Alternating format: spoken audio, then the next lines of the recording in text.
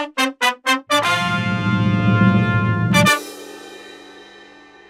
chain wear gauge is a simple device that allows you to precisely measure the length of a given set of links on your chain and determine how much wear has occurred and how much stretch has resulted.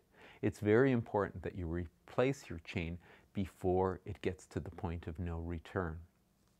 This simple chain wear gauge allows you to measure the length of chain and determine how much wear is left in the chain and it measures it in percentage. And you can see here that we have 75% of the chain worn out at this stage. Once we've reached 100%, it's time to replace the chain.